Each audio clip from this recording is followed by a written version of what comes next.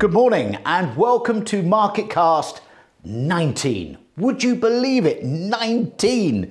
We're live again here from the AF Oliver offices here in Bournemouth and it's still grey. It's a still a grey, even though we're halfway through March. I'm looking forward to when I can say we've got blue skies and sunshine and all those other good things. Um, and we've got, well, news to tell you. The budget. Uh, well, it was a bit of a shock, really, wasn't it? I was going to do a special market cast just discussing exactly what had happened and all the measures that had been brought in during the budget and how that was going to affect the industry. Uh, well, the, the, Jeremy Hunt obviously proved that maxim that nobody is right all the time because I confidently predicted before the budget there would be a little bit of bribery going on in there. They would make some changes, they would make home buyers better off, they'd do stuff building up to the inevitable election that we've got coming up in the autumn. And of course, they didn't. They did absolutely nothing whatsoever. Uh, so little or nothing to report on that. And all we've seen instead is a market that has carried on quite oblivious really to all the stuff that's going on in the background, whatever that may be. I did actually ask the production team here this morning, I gave them a little bit of a, a, a, a, uh, a quiz. Give me a, here's a riddle for you. What has the recession that we're currently in, some of our more prominent politicians and the North Sea all got in common? Well, of course, I was looking for the answer shallow. Uh, um, James, who heads up our production team here, said shallow and a little bit dirty. And I don't know what he meant by that. And I don't think I'm going to comment any further either. Okay, yesterday then, we had Rightmove come out with their latest asking price index. This is the asking price index for March, whether you like the Rightmove index or whether you hate the Rightmove index, it's 95% of UK properties for sale are on, on, uh, listed on Rightmove. And their index, which doesn't involve all of those 95%, of course, the index only refers to the new listings that they've had since the last index. So that's a really important point. But it's one that can't be ignored. And as I'm sure you know, it came out yesterday, it actually saw a 1.5% uplift in March. That's important to put it into context. Normally, as you go February into March, there is always an uplift in asking prices, or generally, uh, but it normally runs, it averages out, I think over the last 22 years, Rightmove say that has averaged out at 1%. So this is actually half a percent above their 22 year average. Tim Bannister says he is the chief property science officer or some such grand title. I'd love a title like that.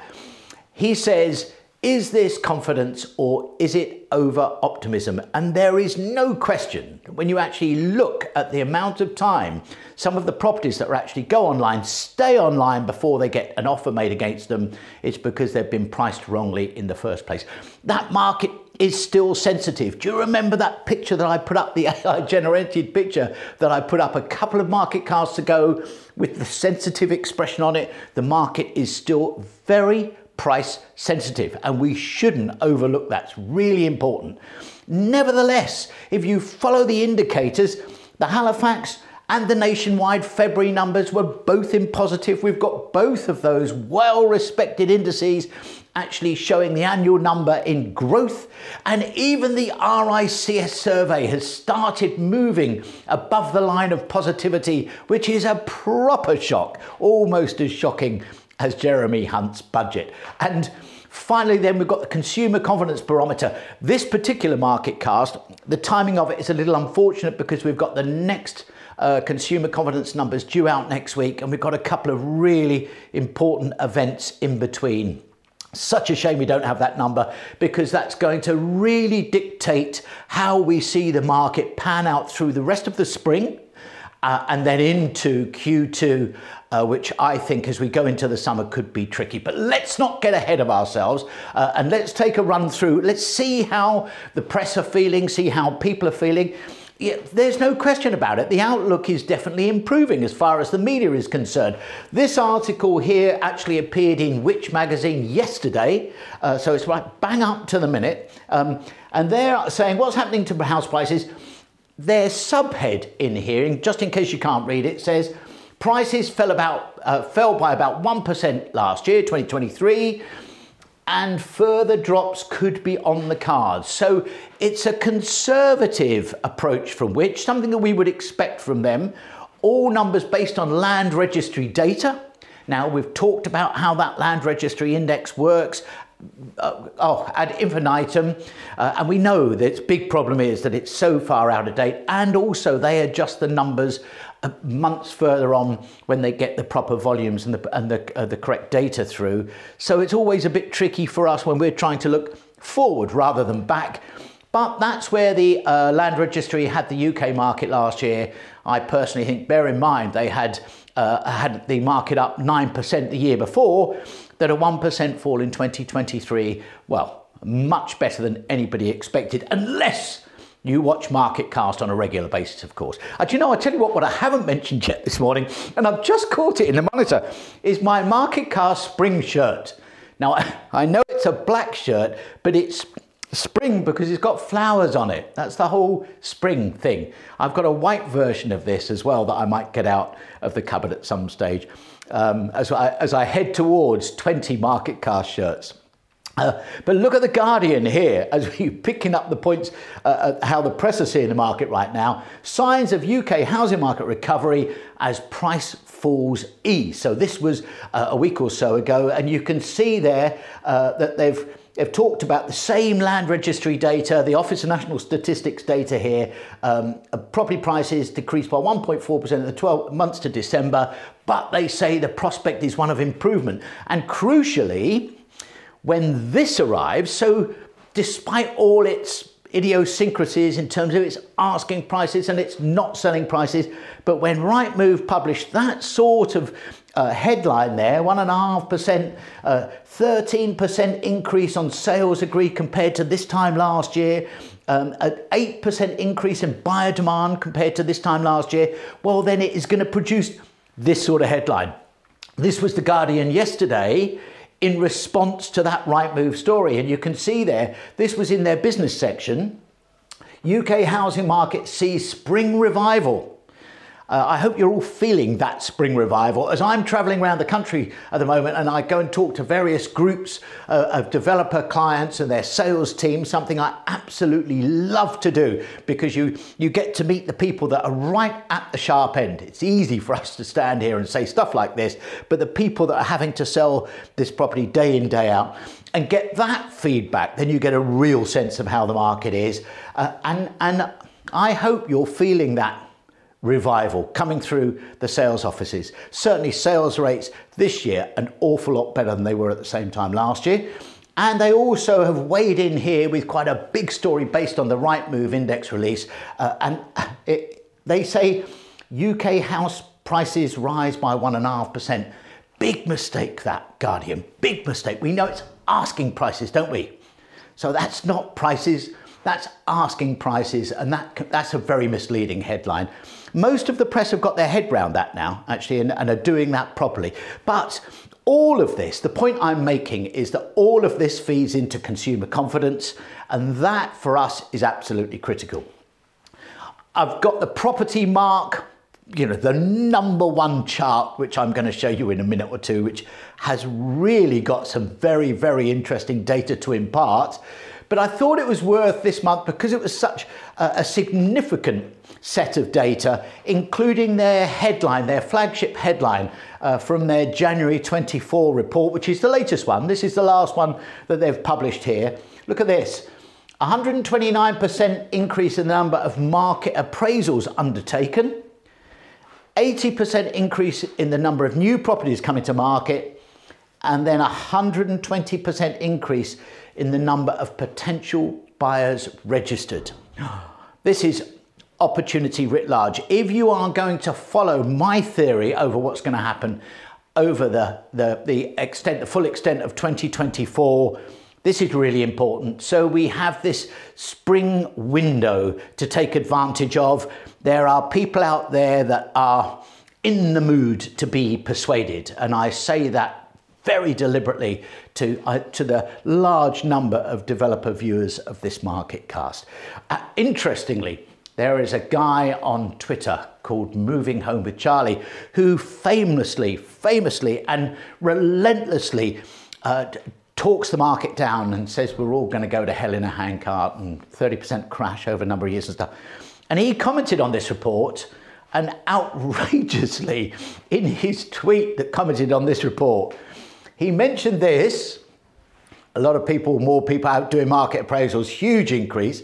And he mentioned this the fact there'd been an 80% uptick in properties come to market. But bizarrely, he forgot to mention this, which I found very interesting. Now, I normally avoid Twitter like the plague. Have you ever, do you ever go out and touch the Twitter sphere or X, whatever it's called these days? It's a nightmare. They've never, if you, if you use the word nuance, they'd think you were talking about some fancy French dessert. You've never seen anything like it. You make a comment and you, you crash and burn and people pile on. So I very seldom do that. I only ever go on Twitter to talk about my football team or my dog. I couldn't resist commenting on that. I thought it was an outrageous thing to do. So here's the balanced picture of the property mark, mark report.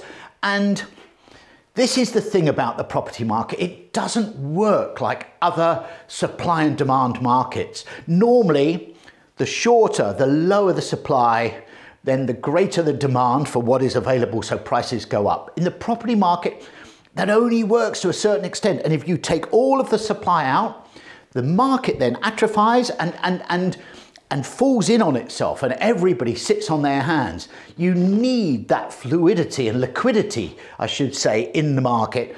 Uh, this, I, I believe, is great news to see the stocks, the agent stocks increasing. And this leads to obviously increased consumer confidence. Uh, regular viewers of the market cast will know how this chart works, so I apologize if I really briefly just explain it each time in case somebody is watching this market cast for the first time. But importantly, and I've tried to make it clearer now after a few comments I had feedback, that the zero line is right here. So with GF, with, with uh, Consumer Confidence Barometer, GFK asks 2,000 people every single month, same questions. It's brilliantly reliable, this. Are things going to get better or worse in the next 12 months in a different set of categories? The red line here is the overall index score, and the other three colours represent categories that really matter to the people in the house building industry. If of those 2,000, 1,000 answered positive, the other 1,000 answered negative, you would have a neutral zero. When you're in negative territory, it means that the majority of people that have answered have said things are going to get worse, not better. Here are the, here are the questions. So this blue line here that has come from depths lower than they have ever been in the 50 plus years this survey has been running right down here at minus 60, and it was more than minus 60 uh, in, in, September, obviously, after the famous Truss Kwarteng uh, magnum opus, and you can see where that has gone. This is, is the UK economy going to get better or worse in the next 12 months? This is where it's gone. This is where it's gone. And you've felt that, everyone, every one of you have felt that in the sales office and your reservation rates over the past few months, and you have felt that come back so it's still deep in negative. And look, in February, that trajectory actually changed slightly and it took a slight step back. We had one or two bits of bad news in February. Interest rates held where they were. We had inflation that got stuck, didn't it? Just about 4%. And so that actually came down a little bit here. The green line here is the next 12 months a good time or a bad time to make a major purchase? like a, a new kitchen or a new car or a new house. And you can see here how that has increased too. Still in negative, that's this whole situation we have with trying to get people over the line, that uncertainty. I, you know, I, I, I like to think of this as my uncertainty index, and uncertainty is one sure way to kill down the property market. People making a commitment when they're uncertain about their future. But look at this line here, which is how do you think your own personal finances are going to fare over the next 12 months? Well, you can see. And again, this has come from historic lows, by the way, all the way up through here. It touched neutral in January. And despite the fact that in terms of, of, how people felt the economy was going to do over the next 12 months, or whether it was a good time to make a major purchase, you can see that belief in their own personal finances stayed level. And that's despite the fact that we've got a weakening uh, employment market. So, really important and feeds into my narrative about how the market is going to behave as we go through spring towards the early summer market. This is what happened with inflation. Look, uh, let me put the numbers on there. Hold on. There you go. This is what happened with inflation. Uh, we got stuck at 4%. Still good, but not good enough. Uh, the bank then said, well, hang on a minute, you know, we probably don't, we don't want to move too fast back down the chain. We're going to hold rates at five and a quarter. So crucially, we've got a really big week coming up with this week, haven't we? And we've got inflation numbers coming out tomorrow. This is going to be massive. Word on the street says the inflation numbers, when they come out tomorrow, could start with a two. Could be two point something. You know, I think it's going to be a major drop. I, I personally think it's going to be three and a bit um, it could start with a two, and if it does that when the MPC meet the day after, well, all bets are on at that point, aren't they? Here's the other side of that picture, which is crucially important, of course, to a point I'm going to come to shortly. This is wage inflation here. So, this top two lines here show uh, uh, real time wage inflation. Uh, and you can see where that sits. Look, here's 5% through here. And although it's come down significantly from when it was approaching double figures, it's now sort of six, six, seven percent, uh, whether you include bonuses or not in that. But here's here's real inflation. So this is adjusted inflation there. So what? So so taking wage inflation, deducting general inflation, and here's the net inflation in earnings. And you can see that that has been positive now for seven months. So so that, that picture then is improving. And of course, all the time that this real inflation, adjusted inflation, is above the zero line, that makes property cheaper, doesn't it? Whether the prices of property move or not, because we all know that in the end it comes down to the amount of disposable income that you need to find to buy a property that actually drives those prices and volumes. These are the way that interest rates are, are moving. Don't intend to dwell on that, but you can see a slight, just a really slight uptick there in the last numbers as the banks, the building societies and institutions got a little bit of cold feet as the reduction in inflation slowed down, swap rates suddenly started slowing down, products started being removed from the market. I think we're currently in a, in a situation where the duration the, the, the uh, uh, of products available to, for uh, home buyers, for people wanting to take mortgages out, is now very, very tiny indeed. Uh, in fact, it's as short as it's been in a long time, where institutions are nervous about offering great rates over a protracted period, and they get these products get put up and they get taken down. And you can see that little bounce there, but we've still got, at best, if you look at a two year fixed rate mortgage, if you go down to as low as 60%, you're still below 5% there, 4.62% for a two year fixed. Excuse me. And even right up here at 95%, uh, that's at 5.74. And that's the average rate. There are better rates than that. If you take a various range of fixed rates from two up to five, with a 75% loan to value, you can see some of these rates here 4.55 down here, 4.4 for a five year fixed rate loan, uh, 75% loan to value. I mean, that's really competitive and getting close to that magic 3%. I'll show you, I've kept that slide in from last month. I had a lot of people ask for a copy of that slide and a bit more explanation. The key dates then that we've got Tomorrow, tomorrow it's inflation numbers.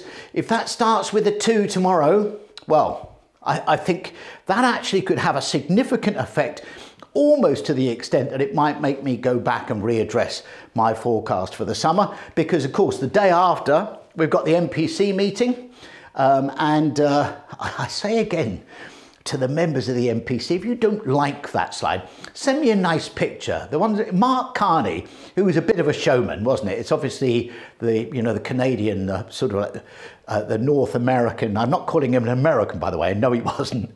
Um, but that showman in him, he, he took some great publicity pictures. I'd love to run one for the current MPC. Can't find one. That's the best I can do.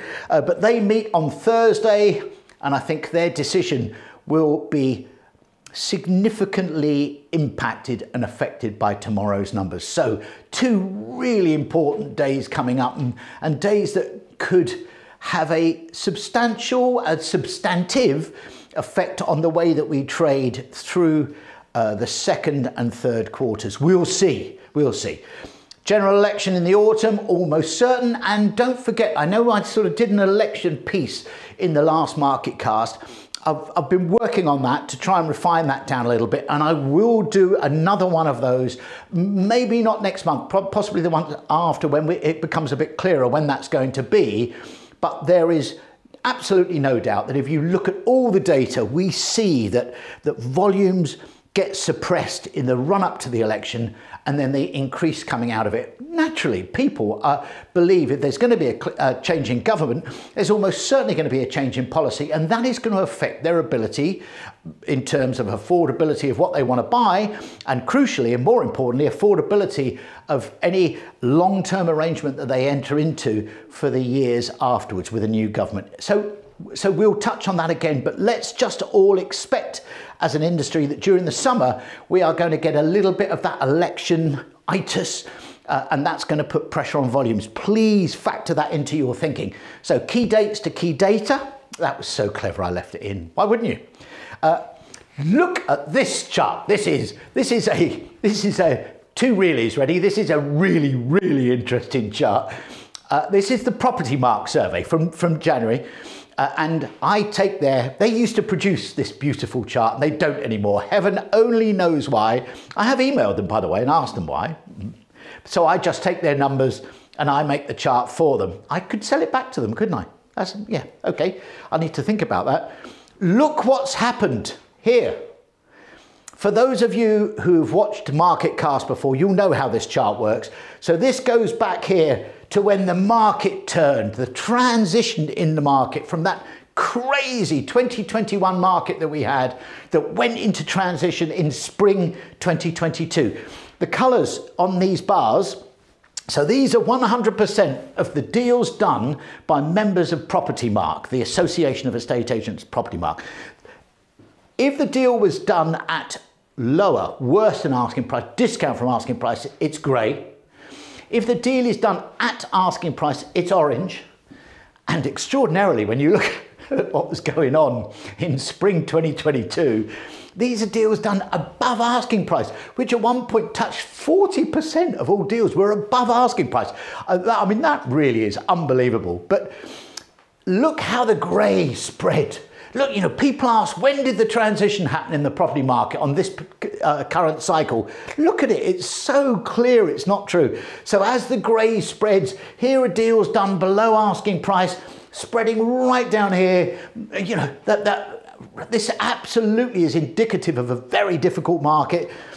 Look what's happening. Here we come. Here's 2023, okay? And this is where it got really, really difficult, didn't it? Two reallys difficult in here in autumn 2023. And we've come through the year, confidence has increased, people are feeling better. I forecast a spring uptick. Look at this in January. That blue, which is that's 9% that reading, 9%, nearly one in 10 deals done in January by the Property Mark members were done above asking price. And if you take that and at asking price, 30%, nearly one in three. Now, one swallow does not make a summer. This is not yet a trend. I'll be very interested to see what the February numbers look like, and then I'll be able to give you a much better idea. But heavens, that is a really important number. I strip away all the colours and, and, and look at it like this, because these are deals that are done at or above asking price. Look at this, up to 30%.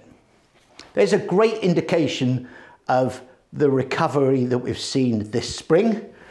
However, I think there are clouds ahead of us.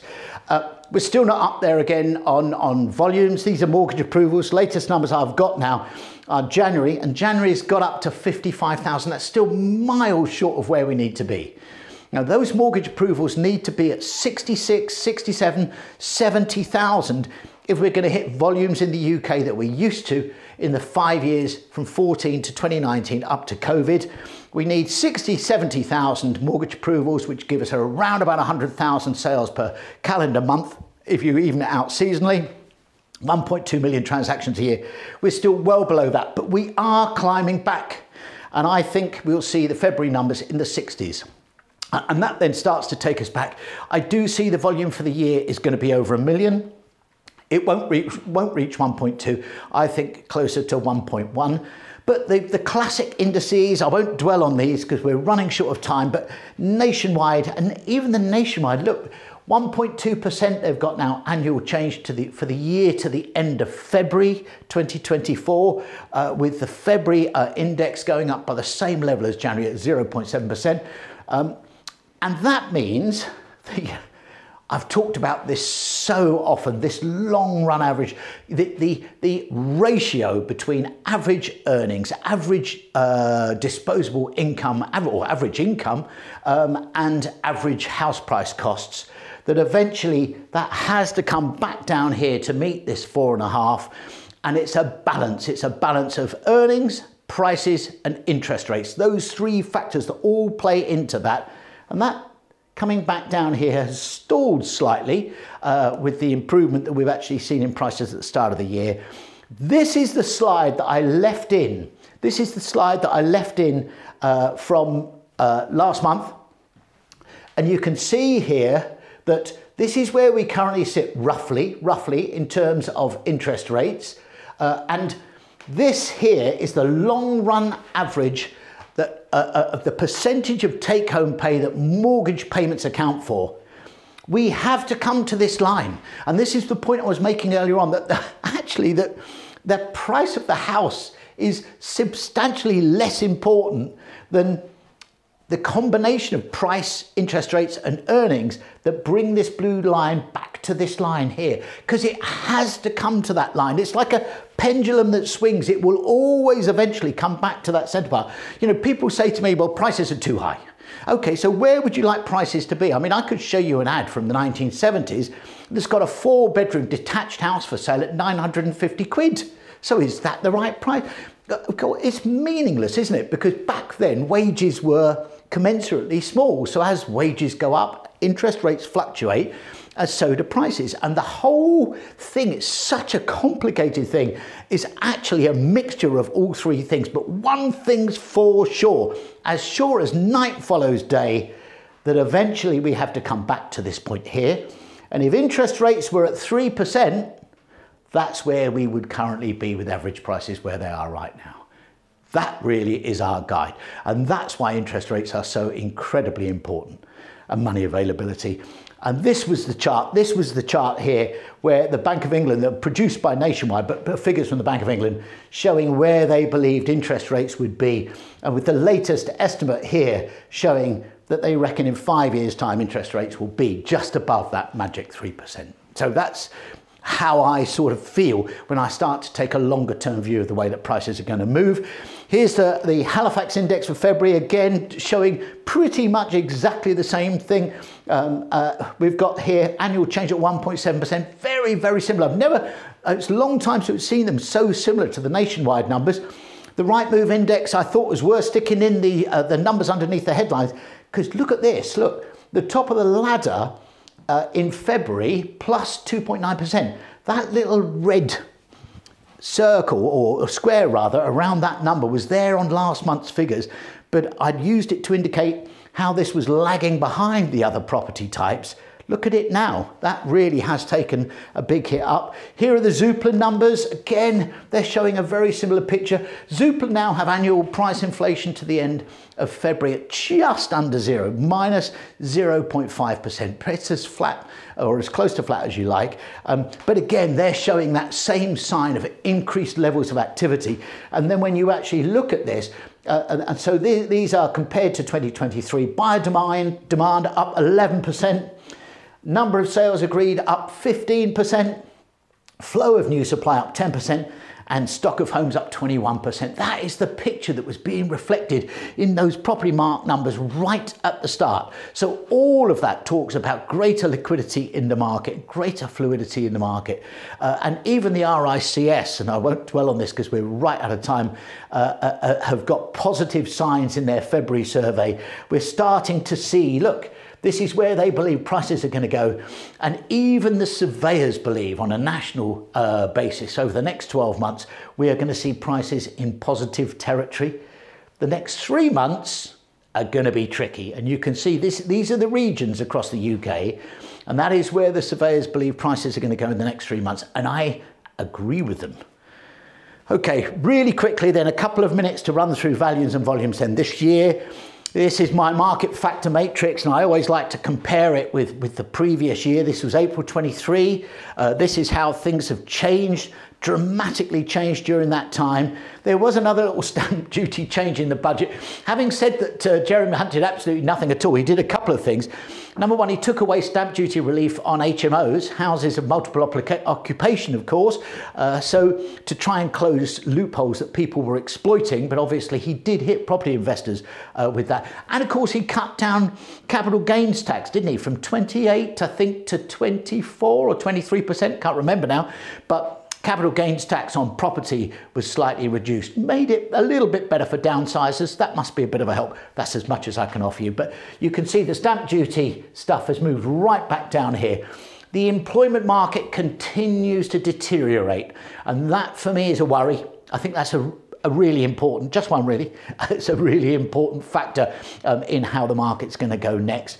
Right up here, still, this top quadrant there is all about the developers doing stuff. And as I've said before, right now, if you can build into your proposition and your offer to prospective purchasers certainty, even if it's only two years worth of certainty, that's going to give you a really big selling advantage. And that leaves us with this then.